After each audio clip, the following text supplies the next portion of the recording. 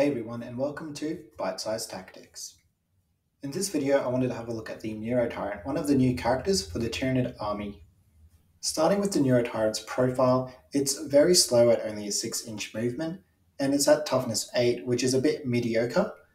It also has a very bad armor save at a 4 plus but it's pretty much a null and void armor save as it already has an invulnerable save of 4 plus and 9 wounds as well isn't that great it's got a leadership of 7, which is okay for Tyranids, and an OC of 3, which again is okay and currently costs 105 points.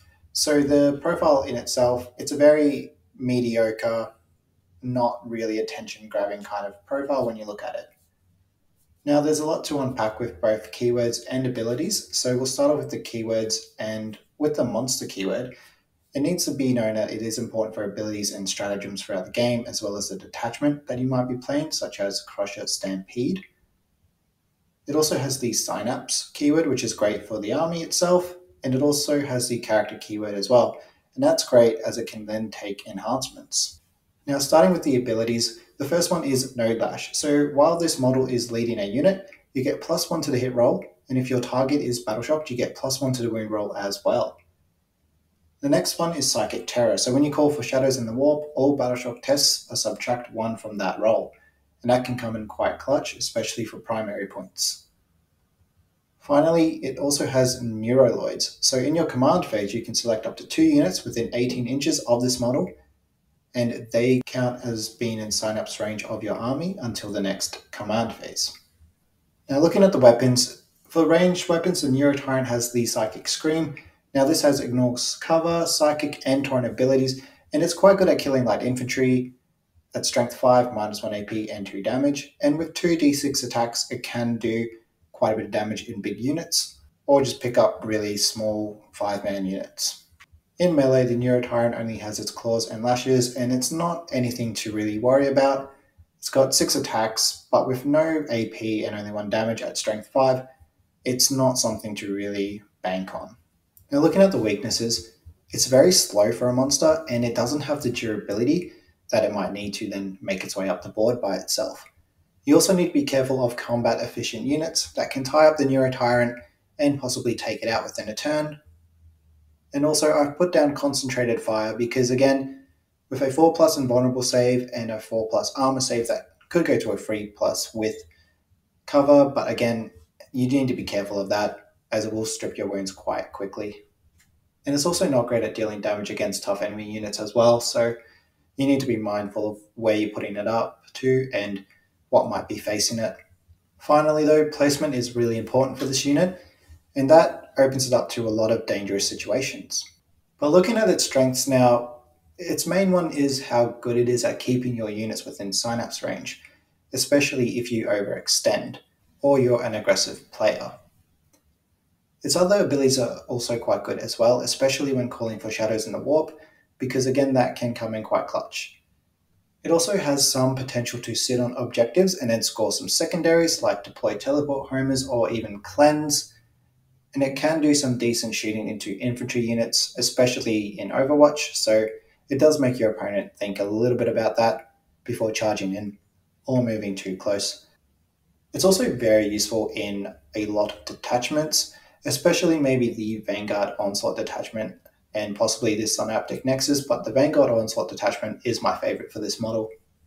Now, when looking at its mission play, the Neurotyrant can be used to either stay in the backfield by itself and then spread synapse to those units that are moving too far out or are just moving to a certain board edge that there are no synapse creatures.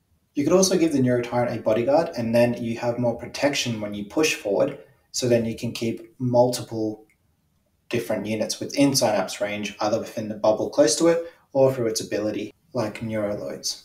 Because it's also a character, you could also give the Neurotyrant an enhancement, and that can really benefit the army.